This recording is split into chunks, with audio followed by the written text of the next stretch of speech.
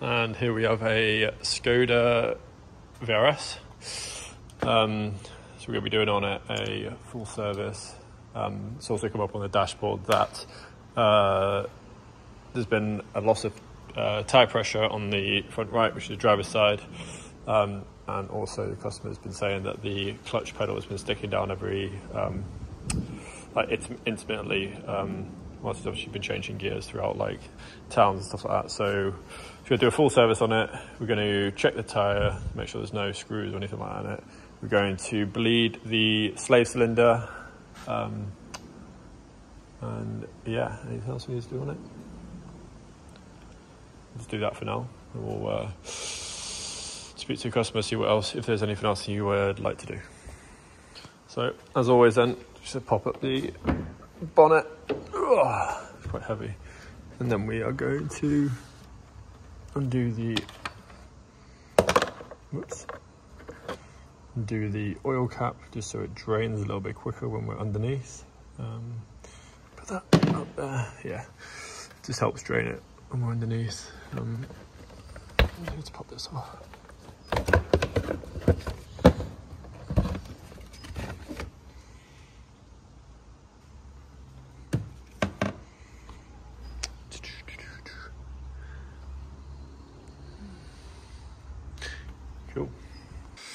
A belly plate on, so I need to uh, undo all the little Torx to get the belly plate off.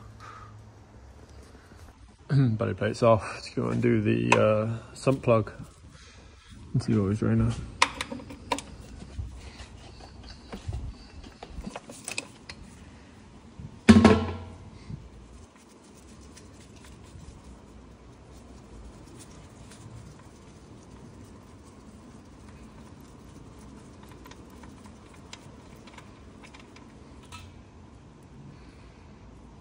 drainer. Gonna let that drain out. Then we're gonna get the oil filter, which is at the front there. Cool, so that's the uh, sump plug nipped up again. Um, we're just gonna undo the, I need two under this. Nah, we're good.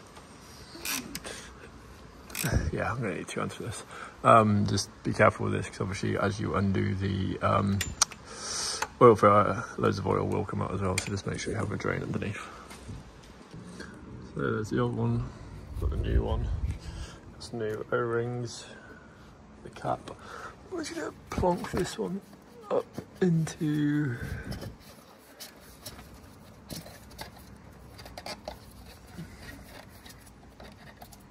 up into position.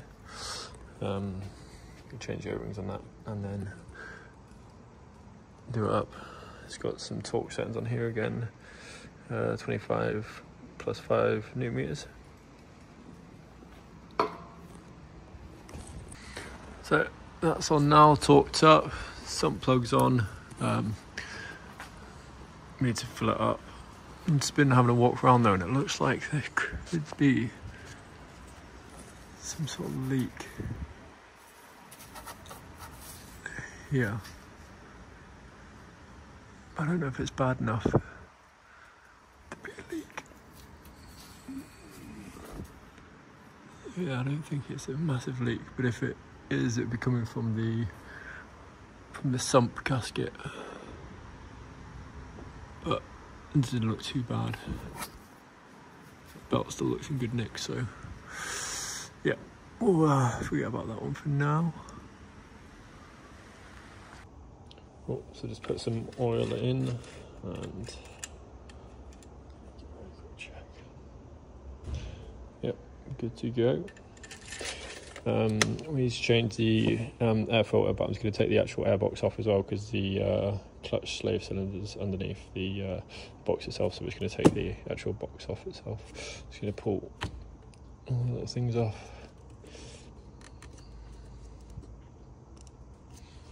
This little clip.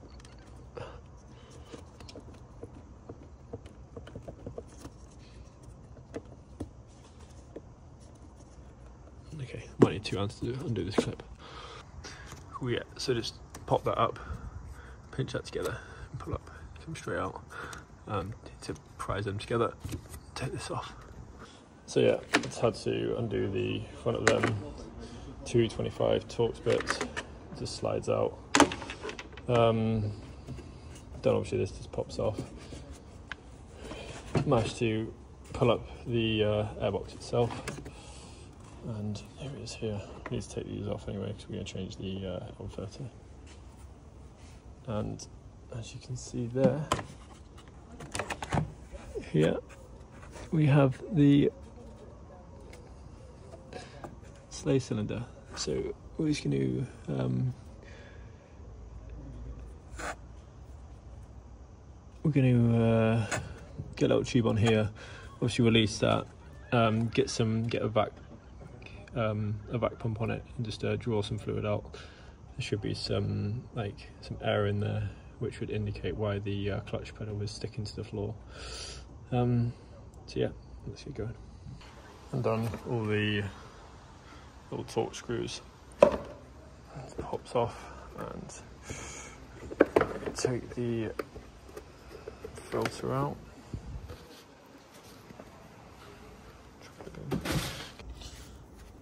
Goes in. Put the top back on, and we are just going to tighten them down.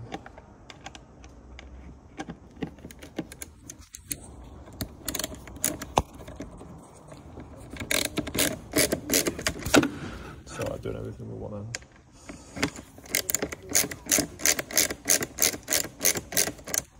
Continue that all the way around. Cool. So we've just um, undone the um, brake fluid, uh, brake fluid cap, which is uh, it basically runs off the same. It goes to the same uh, slave cylinder as well. It uses the same fluid.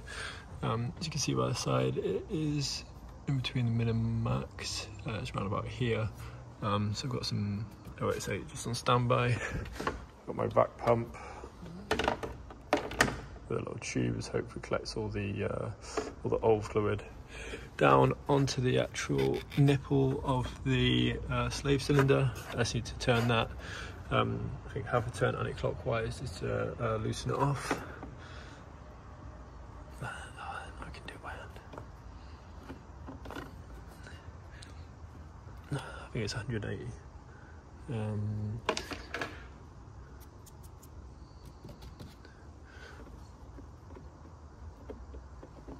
Ah, there we go, managed to do it. Ah, as you can see, it's starting to come up now.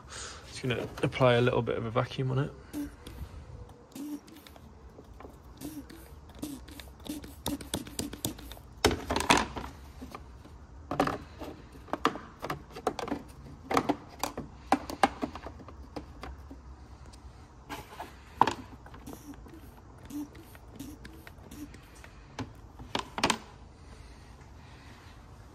See it starting to come up now. There we go, it wasn't actually creating a proper seal foot before, so just gonna pull this a little bit more. It should just drain into this pot. As you can see, we've got a vacuum there. You can hear it draining from here. It's a few. Oh.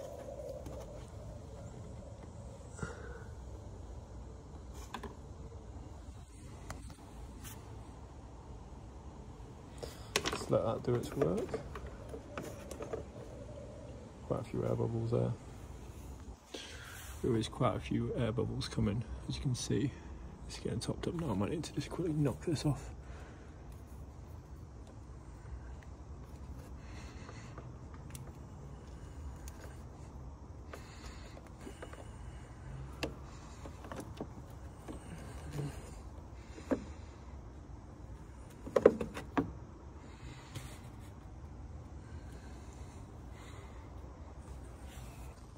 So I had to do that again because um, all the fluid that was coming through was so dirty and it was um, had quite a bit, bit of air in it. So I've um, I've topped it up.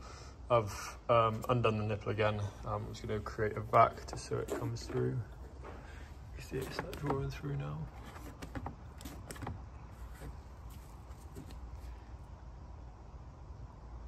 There it comes. It's a lot clearer this time and there doesn't seem to be any bubbles. Perfect, so I can lock that off in a minute and I can test the clutch out. That's what we want to see. Just gonna let that fill up a little bit more.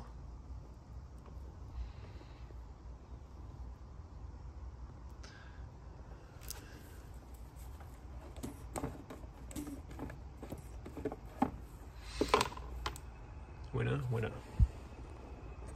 Cool, now that that's done, um, so topped it up, put the little rubber nipple back on. Um, just gonna put the airbox back on. Um, obviously with the 088 as well, or brake fluid, just make sure not to get it on any of the paint because that actually works as a paint stripper. So yeah, um, let's get the airbox back on.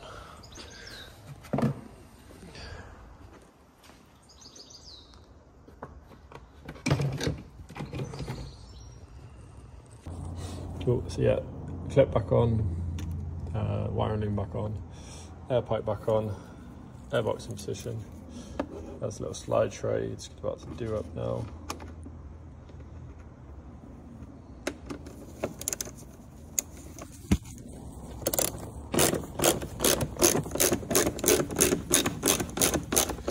That's back on.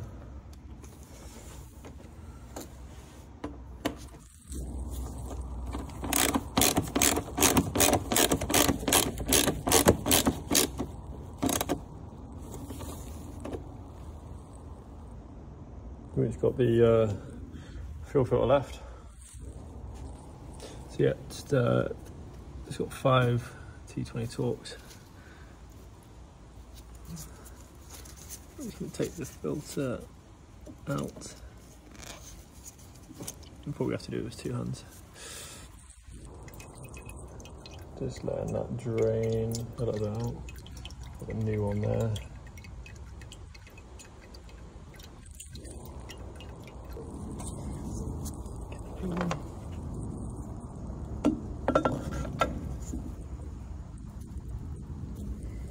Push it in.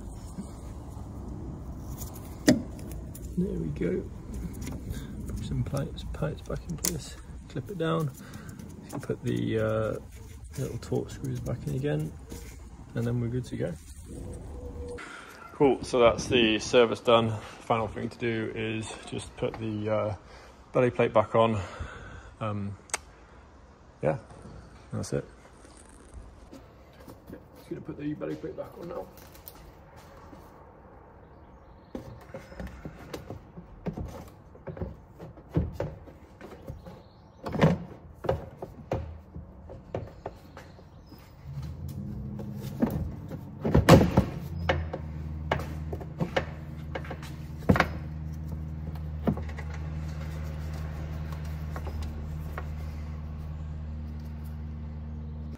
So I just need to uh, check the brakes as well because the customers asked me to do that.